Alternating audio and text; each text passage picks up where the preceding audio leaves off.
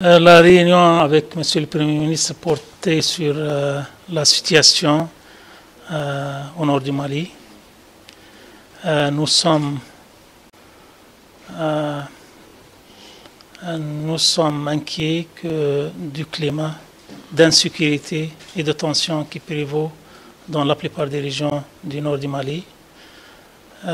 nous sommes d'accord que toutes les parties engagées sur le terrain ça veut dire la plateforme et la coordination, doivent absolument et immédiatement cesser toute forme d'hostilité, de respecter les cessez-le-feu et de rester engagés dans le processus de paix d'Alger qui va conduire à la signature de l'accord le 15 mai.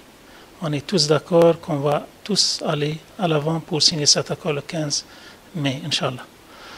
Euh, la MINUSMA est en train de prendre les dispositions nécessaires sur le terrain pour veiller à ce que les droits de l'homme ne sont pas euh, touchés et à ce que euh, la population est protégée.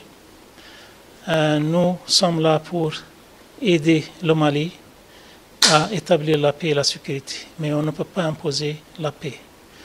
Mais on fera tout l'impossible pour y parvenir, parce qu'il n'y a pas d'autre choix que la paix au nord du Mali. Nous, de toutes les manières, nous sommes euh, engagés dans le processus de paix. Je garde l'espoir et la conviction que le processus d'Alger sera couronné par la signature le 15 mai par la plupart des parties prenantes maliennes. Parce qu'il n'y a pas d'autre choix que de signer cet accord, il n'y a pas d'autre choix que de rester dans la logique de paix, dans la logique de l'accord.